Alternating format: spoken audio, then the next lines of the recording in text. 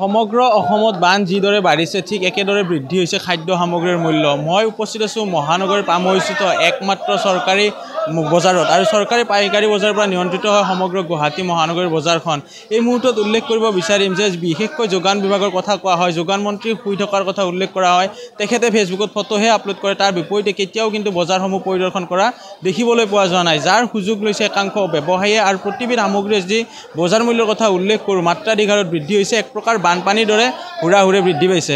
সমান্তৰালভাৱে উল্লেখ কৰিব বিচাৰিম যে মুখ্যমন্ত্ৰীগৰাকীয়ে স্পেচিয়েল টাস্ক ফ'ৰ্চ গঠন কৰি দিছিলে যে বজাৰখিনিসমূহ তেখেতসকলে দ- ঘূৰিব আৰু ক'ত কি মূল্য হৈ আছে সেইসমূহ তেখেতসকলে তাৰে পৰা নিৰ্ধাৰণ কৰিব বা যদি কোনো লোকে অধিক দাম নৰিছে বা নিৰিখ ধাৰ্য কৰিছে তেতিয়াহ'লে তাৰ লাইচেঞ্চে হওক বা তেনেধৰণৰ ব্যৱস্থা গ্ৰহণ কৰাৰ কথা আছিলে। কিন্তু আজিলৈকে কোনো এখন বজাৰত টাস্ক ফ'ৰ্চ নগ'লে। আৰু এই মুহূৰ্তত সতীৰ্থ পৰিৱেশ দেখুৱাইছে যে ইয়াতে সকলো সামগ্ৰীয়ে উভৈনদী হোৱা পৰিলক্ষিত হৈছে আৰু প্ৰতিবিধ সামগ্ৰীৰে বৃদ্ধি হৈছে মূল্য।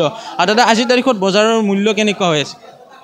বজাৰৰ মূল্যটো অলপ বাঢ়ি আছে। মানে এতিয়া আপোনাৰ এই ভিনটো ভিনটো এতিয়া আপোনাৰ একশ দহ একশ টকা।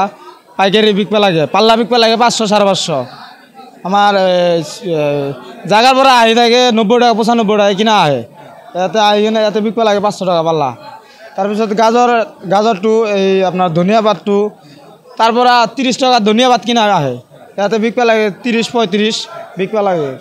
এই কেপচিকামটো আপোনাৰ পঁচা পঁচানব্বৈ টকা কিনা পাঁচশো চাৰে পাঁচশো ছয়শো টকা বিকিব লাগে। আপোনাৰ বা- বজাৰৰ খৰচ আছে নিজৰ খৰচ আছে।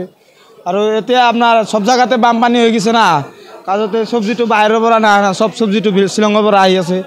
কাজতে শ্বিলঙৰ পৰা আহি আছে সেইকাৰণে চব্জিটোৰ দাম বৃদ্ধিটো বেছি হৈ আছে। বাঢ়িছে। বাঢ়ি আছে অঁ। দাদা আজিৰ তাৰিখত কিমান কি দাম আছে? এইটো একশ টকা কিলো এইটো এইটো একশ বিছ আৰু বিলাহী ষাঠি টকা কিলো।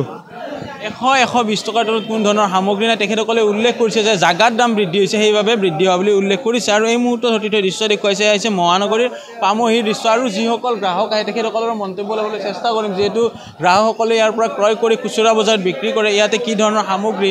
আৰু উল্লেখ কৰিব বিচাৰিছোঁ যে তেখেতসকলে এই মুহূৰ্তত স্পষ্টভাৱে উল্লেখ কৰিছে যে এশ টকা দৰৰ তলত কোনো ধৰণৰ সামগ্ৰী নাই। যি সময়ত মুখ্যমন্ত্ৰীগৰাকীয়ে টাস্ক ফ'ৰ্চ গঠন কৰি দিছিলে আৰু প্ৰতিবিধ সামগ্ৰীৰ নিৰিখ নিৰ্ধাৰণ কৰিব দিছিলে তেনে সময়তে যি চোৱা যায় এনেধৰণৰ যি ধৰণৰ মূল্য বৃদ্ধি হৈছে দাদা কি ল'লে? এই স্যাৰ এই ভোল লৈছোঁ ভোল। কেনেকুৱা দাম? দামটো বহুত জ্যাদা আছে স্যাৰ বহুত বেছি হৈছে। এক কেজি ফৰ্টি ফিফটি ৰুপিজ। পঞ্চাছ টকা থকা বুলি উল্লেখ কৰিছে আৰু আন এগৰাকী পটল লৈ আছে। দাদা কি হৈছে? ঠিকে আছে দাম আজি মোটামুটি বেয়া হোৱা নাই। পটলত। পটল ডেৰশ টকা পাল্লা।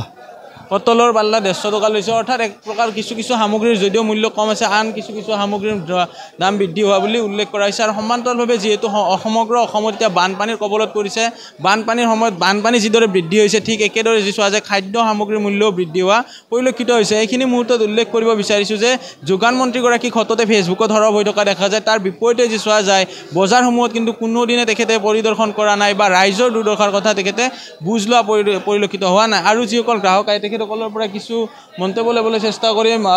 দাদা আজিৰ দাম কেনেকুৱা আছে? দাম একদম বৰ্তমান লাগাতছে বেছি হৈ আছে। কিমান লৈছে দাম? হা? দাম কিহৰ কিমান ল'লে? দাম মানে কি বান্ধা ত্ৰিছ টকা লোৱা গৈছে। আৰু স্কচ পঞ্চল্লিছ লোৱা গৈছে।